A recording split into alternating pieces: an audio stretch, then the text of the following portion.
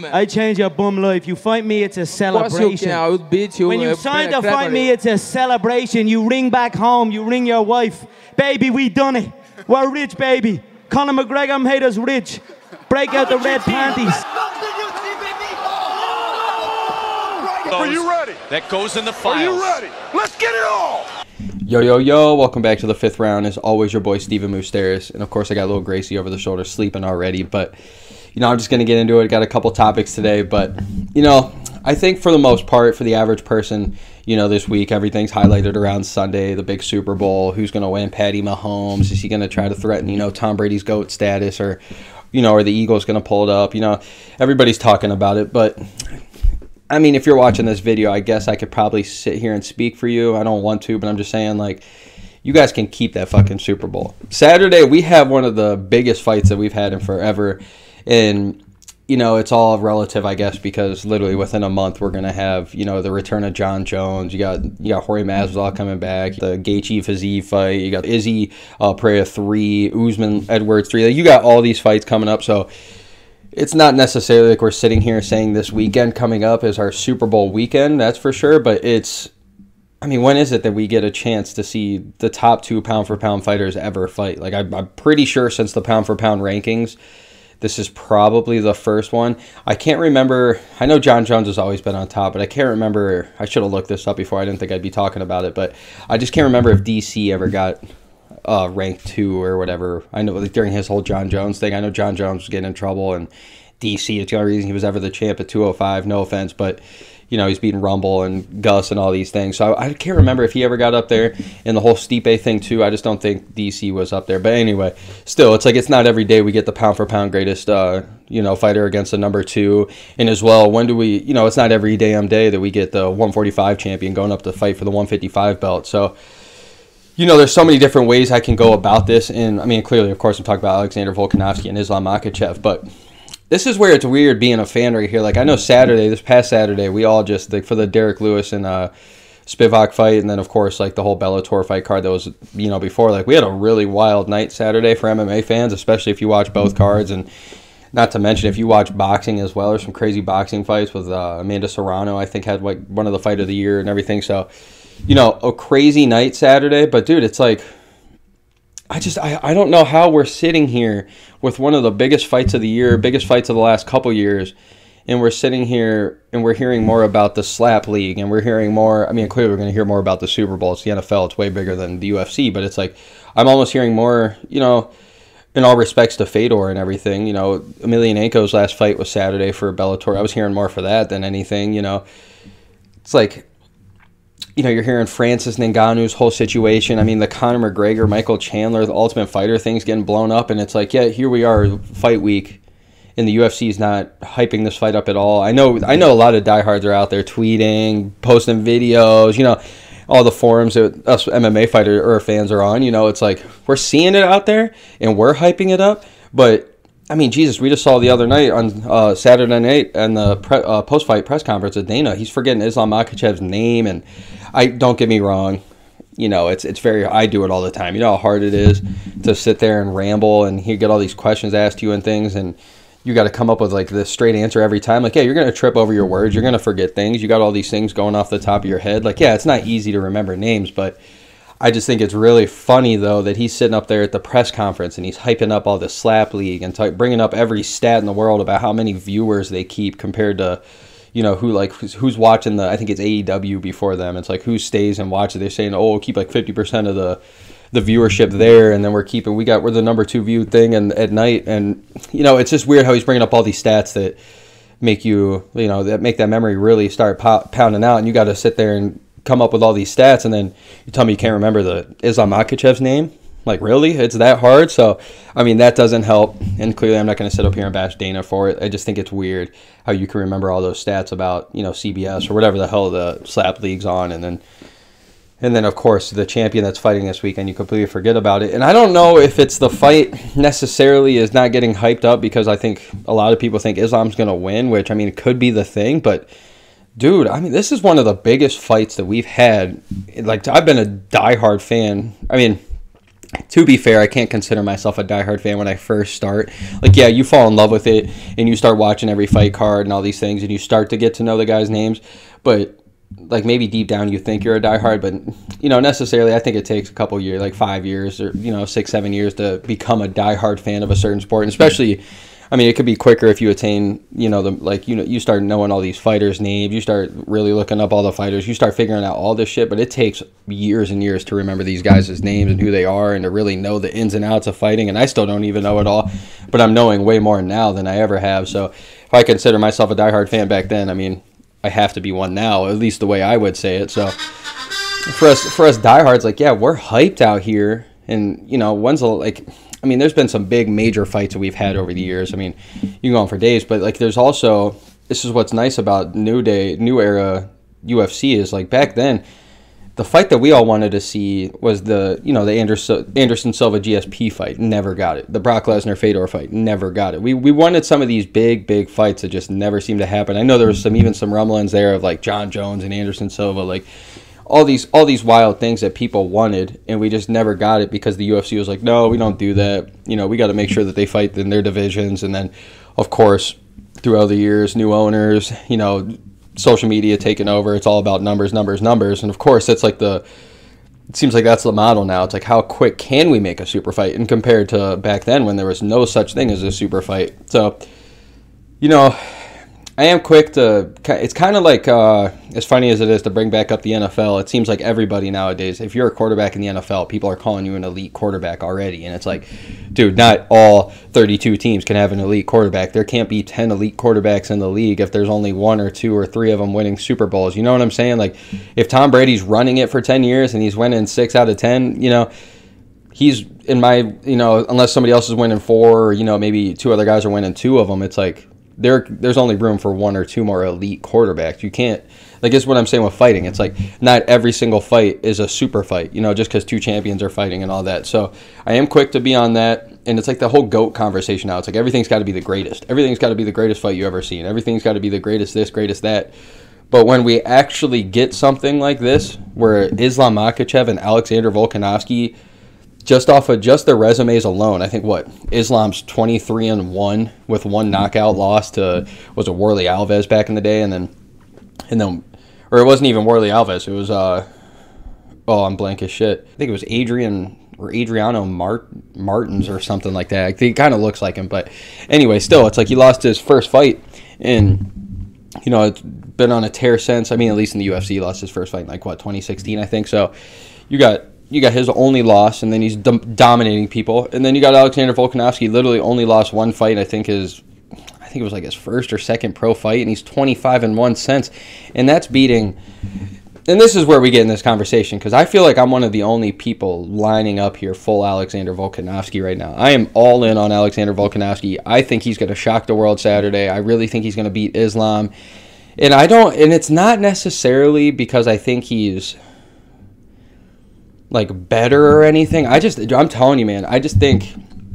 I mean, I can't speak for I can't speak for these guys, but just off of what I watch and everything, man, I'm telling you the level of competition. I know that it's ten pounds less, and I know the the uh, grappling isn't as good as Islam, but like Alexander has ran through way more impressive people to beat Max Holloway three times, and I mean, there's argument that he lost two of them. There's argument he won all three. There's argument, you know, there's arguments he lost one. You know, you could go anywhere on those first two fights, but that third fight, man, and I've said it before. I just said it last week or something talking about it, like talking about a Max Holloway, his return. It's like, man, that was one of the most depressing nights of my life watching Alexander Volkanovski beat the shit out of Max Holloway. Like Max Holloway is a top three fighter of mine for sure. I've been the biggest fan ever. You know, the blessed is best. I I love it all. You know what I'm saying? But to watch one of my favorite fighters get dominated like that was a tough one. And you guys know how it is. I get more nervous for my favorite fighters fighting than I would if I was fighting or if or anything. You know what I'm saying? So this shit just gets tough, and I'm telling you, just you guys cannot be sleeping on Alexander Volkanovski. And I know, you know, I know that he's given up more significant strikes in just one fight than Islam's done his whole career against Max Holloway. But it's like, dude, that's Max Holloway. He's one of the greatest strikers of all time, at least, at least when it comes to being able to touch up your opponent. Like, yeah, he doesn't have the power that most people do, but that dude's got the the cardio for days and has the ability to punch your face in all night, all night.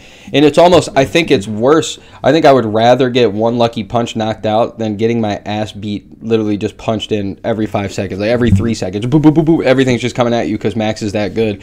So, like, for Volkanovski to sit there and go through all that and fire back and win, I mean, dude, it's so impressive. And this is the other thing, too, that I think people are sleeping on. And this is why I love Ilia Topuria so much if you guys watch Ilia Topuria or if you watch Alexander Volkanovski, which I think we haven't gotten to see much, but I think we're going to see it this weekend, is the ability to be able to have your takedown defense ready and as the number one thing, being ready for that, but also not allowing yourself to get hit. This is like the most slept on thing I think is most other than cardio and heart and everything, I think this is the most like slept on thing you could have in the UFC especially in MMA, just in high level MMA in general, is you start seeing these guys. I mean, we there's I can go on for days with uh with with uh, examples of it, but dude, like all the guys that they they go into the fight like against Khabib or something. Like Conor is a prime example for this. Conor goes into a Khabib fight, knows he's a way better striker, so he doesn't he doesn't train striking at all for the entire camp.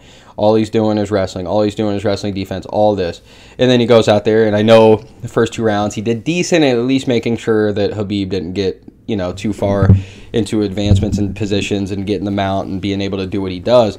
So it was impressive with the wrist control and stuff, but we've seen it slowly starting to show up. And then when they finally stood there for a while, Khabib, you know, knocked Conor McGregor down with that overhand right, which you would never see happen. So it's like that right there, if you see them strikers, they get so worried about the takedown that they start getting hit by somebody they would never get hit off if it was just a kickboxing sparring, you know, like some sparring and kickboxing or if it's kickboxing match or boxing or just strictly stand up, you know, they would never get touched by this guy ever. And here they are getting touched because they're so worried about the takedown.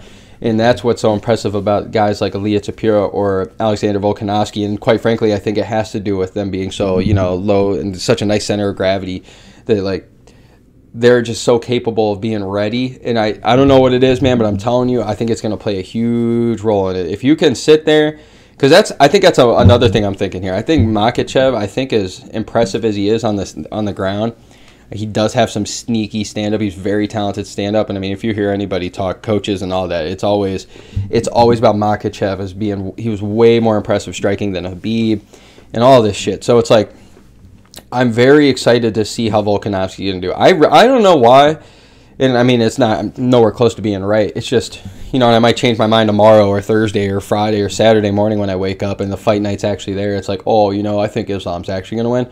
But I'm telling you, for the last month or so, dude, I'm just there's something about Alexander Volkanovski, dude. I'm telling you, I think he's got a good chance here, and I could I'll easily bite my words. I'll I'll easily swallow. Whatever. It's like if if Islam goes out there, takes down Alexander Volkanovski in a second, holds him down, chokes him out, does what he did to Bobby Green, Charles Oliveira, does does to everyone, Dan Hooker. If he does all that, then it's like okay, yeah, dude's just impressive. But I don't know why, man. I just don't see Volkanovski doing that. I think another thing as well. Don't get me wrong here. I know Brian Ortega isn't as strong as Islam Makhachev, but when we're talking straight jiu-jitsu and straight submissions, that dude's got maybe.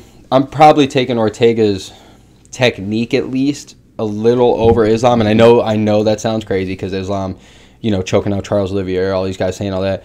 But really, what he does, he's so good with his power and his and just his uh, being like a blanket on you. He's smothering when he's on top of you. So it's like you're so worried about all these things and you leave yourself open for a submission. And I think that's what his with Islam. Ortega is just so good at setting you up for it and get you into that, which I think like which could be talked about, but I know Ortega's not as strong as Islam, so it's going to be a little different. Like if Islam, you know, racks up a, a triangle or you know a, rear naked choke or whatever, you know, I don't I don't know if he'll be able to get out of it like he did against Ortega. As I'm talking about Volkanovski, because just of the strength. But I'm telling you, man, for him to go through that, at least mentally and confidence wise, to go through that with Ortega, who's way better in jiu-jitsu. I mean, god damn, dude, that's saying a lot. I mean, not not to mention the just the outclassing he did of Max Holloway. I mean, Jesus Lord, the Korean Zombie fight was one of the most one-sided, brutal victories ever. And you know, I just I don't I know it's gonna be a close fight, and I know is or I know uh, Volkanovski's got a big hill to climb. But dude, I'm telling you guys, I just don't want to sleep on Volk. I I'm also sitting here too. If we're really being honest with ourselves, guys, like as as much as I hate to say this, and it is true that it's talent. And this isn't fair to Islam. This isn't an Islam thing that he even should be worried about or anything. But when we're talking to, like the judges, when we're talking when we're talking the UFC war room that Dana White's always talking about on Monday, you know, when we're talking the guys that are in charge of his future when it comes to matchmaking and things, if Islam loses this fight against Volkanovski, I could easily you can almost see it now. It's almost why Dana White's forgetting Islam's name Islam's name. It's like even if he wins or if he loses, I just don't see it being as hyped up as it would be just because we all know that Islam's in this position because of be retired, and it's fucked up as it is. And even though Islam's a whole different person, and honestly a way different fighter, it's just because they're from Dagestan, and it's like he's in the shadow. Oh, excuse me. It's like he's in the shadow of Khabib, and it's really not fair to him. So it's like if he loses, I mean, we could easily be sitting here. Oh, it was just a wannabe Khabib, you know, like what? A, it's not Khabib, you know, like where's Khabib at? Like we, it's all, it's all going to be about Khabib, and it's always been, it's literally already about it. It's like why isn't he in your corner?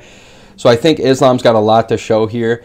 Um, but also you can't deny his confidence right now coming off of Islam Makhachev just absolute or not Islam but that's him but I'm saying the Charles Oliveira uh, beating that he just absolutely put on him so you know this is a very tough one. I think that it's a damn shame that this fight isn't being as hyped up as it fucking it, it should be. And I, if I see another slap fighting promotion slap league promotion over this I'm gonna be pretty heated. Not that I can personally do. What am I going to do? Tweet a couple things and nobody's going to see it, or post a video about it, and what's that going to do? It's not going to change anything. But still, it's just it's why I do these videos. Like I don't do it for me. You know what I'm saying? I do this literally just. I know myself. Like what post a video, get a couple hundred views. You know, maybe luckily get a couple thousand, feeling cool, and it's like still, it's like. I know that's not going to do anything in the grand scheme of things, but it's like at least I'm trying to give these fighters the love that they deserve because their own damn promotion won't even give it to them. So, you know, these guys are my favorite athletes in the world. I mean, don't get me wrong. I'm, you got you got your guys out there. Like, I mean, I was the biggest Kobe fan back in the day, and I guess the older I get now, I'm pushing thirty. So the older I get, I don't necessarily have like a favorite you know like a like a major sport fan like or a athlete I should say. Like I don't have one of my favorites anymore. It's not like I can look up like LeBron's still in there. I love LeBron. Like you got these certain guys but like I'm older than most of these dudes now. You don't really have a respect and love for these guys in the sport like you used to because they're just younger than you and it's hard to root for people younger than you. But when it comes to fighting a lot of the guys are closer to my age. They do like my literally what I think is the hardest sport in the world. Like I got so much respect for these guys and for them to not be able to get paid like which I know it's coming. It's to take time. Like that's why there was lockouts in the U.S. or in the NBA back in the '80s. The NFL's had theirs. The, the NHL's had theirs. The MLB's had theirs. Like, you know, there had to have been something to get a like a a players union and they had to do all this to make sure that they get 50% of the revenue or more or whatever like it's going to happen in MMA one day and I don't know how it's going to happen and I would love to see it but until then man somebody's got to be loving up on these fighters and giving them what they deserve and shouting them out and shit cuz that's dude they deserve more than a LeBron James to me they deserve more than a Patty Mahomes getting half a fucking billion dollars like yeah, I guess football you can put your life on the line, and I do love football. I'm not going to sit here and talk shit about it. I played it and everything, but like, you know, it's concussions are legit. I'm not saying that, and you do put your life on the line. Look at Damar Hamlin, but I'm just saying for the average, like, you don't have as much to lose as these MMA fighters do. Like in all fairness, too, unless you're coming up. I know there's there's contradictions here. Like I know unless you're that rare guy that just got signed off the you know the practice squad and then he tried to make it and gets cut. And like what about him? But I'm just saying for the most part when we're talking, you actually have the spotlight on you, like these UFC fighters. We're talking about MMA fighters who legitimately get to go to the main stage, like the starters would in NFL and stuff. Those guys got what, 18 games plus playoffs if they have more to, you know, to change your view about them like I say all the time, NBA's got 82 games in the year plus playoffs to change your mind about them. Same with MLB, 100 plus games a year, 100 like 80, 160 games a year or something crazy plus playoffs. If you make it, like you have four ch- chances in a week to change somebody's opinion compared to UFC where it's like or MMA where you're training six months off the fucking year and you finally six months later you could have everything in your life could be going wrong and you have to step into the fight. You got a torn acl nobody knows about. And guess what? You go out there and you put on a shit performance because you need the money. You need the 10k to show the 20k to show and you lose the other 20k because you didn't win because you were injured and it's like, but if you would have backed out of that, you're not getting paid at all. Then you got to wait another six months, and like all these people forget about you, and they think you're soft because they're seeing that you pulled out of a fight. Like, dude, it's I can go on for days about examples of why I'm so attached to these fighters and why I love them. Outside of it being my favorite sport, like these guys deserve it, and it really upsets me that somebody like Islam Makhachev and you know Alexander Volkanovski, with all the years that they put into work, that they're not getting this love that they should be getting. And I know us fans are doing a great job, but man, just telling you guys, one of the greatest fights that we've had in so long.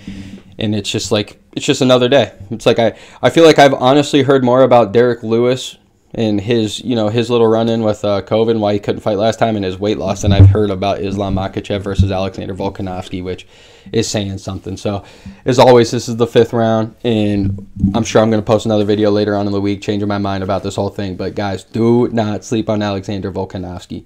Let's go.